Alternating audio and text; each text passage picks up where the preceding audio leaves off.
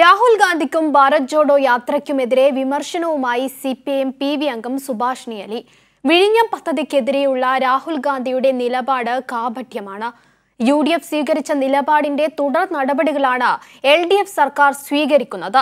B J പിയെ എതിർക്കാനാണ് ഭാരത് ജോഡോ യാത്രയെങ്കിൽ യാത്ര നടത്തേണ്ടത് കേരളത്തിലല്ല. കേരളത്തിൽ ബി ജെ പിയുടെ അക്കൗണ്ട് പൂട്ടിയതാണെന്നും സുഭാഷിണി അലി വ്യക്തമാക്കി.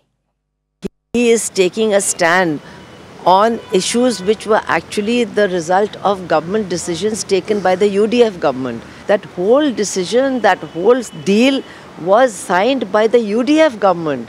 And since it was a government decision, the next government, which was the LDF government, cannot uh, change or go back on that decision. All the environmental clearances were given by none other than Jairam Ramesh, who is protesting the most against the CPIM in Kerala. So this is a very funny thing.